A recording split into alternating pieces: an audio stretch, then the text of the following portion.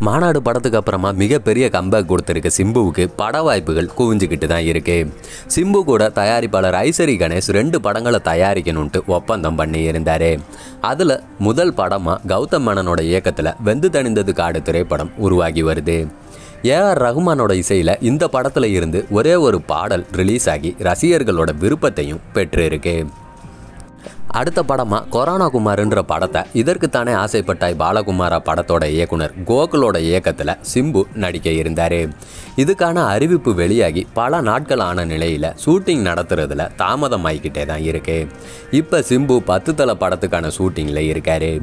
இடையில அவரோட தந்தைக்கும் உடல்நல பாதிப்பு ஏற்பட்டதால் அவரையும் சிம்பு கவனிச்சுக்கிட்டு இருக்காரு. கொரோனா குமார் படம் அடுத்த கட்டத்துக்கு நகராத நிலையில் இந்த படம் டிராப் ஆகி இருக்கு அப்படின்ட்டு கோலிவுட்டில் பரவலாக பேசப்படுது.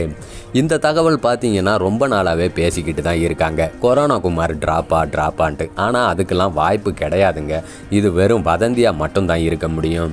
இந்த படத்துக்கு பதிலாக லிங்குசாமியோட இயக்கத்தில் ஒரு படத்தில் சிம்பு நடிப்பார்னு சொல்லப்படுது.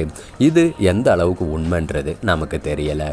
கன்னடத்தில் மெகா ஹிட்டான மஃப்டி படத்தோட ரீமேக்காக தான் பத்து தலை படம் உருவாயிட்டு இருக்கு அது உங்கள் எல்லாத்துக்குமே தெரியும். மஃப்டி படத்தில் டான் கேரக்டரில் சிவராஜ்குமார் மிரட்டலான நடிப்பை வெளிப்படுத்தி இருந்தார். இதனால் பத்து தலை படத்து மேலேயும் எதிர்பார்ப்பு அதிகமாகவே இருக்குது ஏன்னா சிம்பு தான் சிவராஜ்குமாரோட கதாபாத்திரத்தில் நடிச்சிட்ருக்காரு. செம்ம டான் கதாபாத்திரம். அதனால் ரசிகர்கள் மத்தியில் மிகப்பெரிய எதிர்பார்ப்பும் இருக்குது இந்த படத்துக்கும் ஏஆர் ரஹ்மான் தான் இசையமைக்கிறாரு.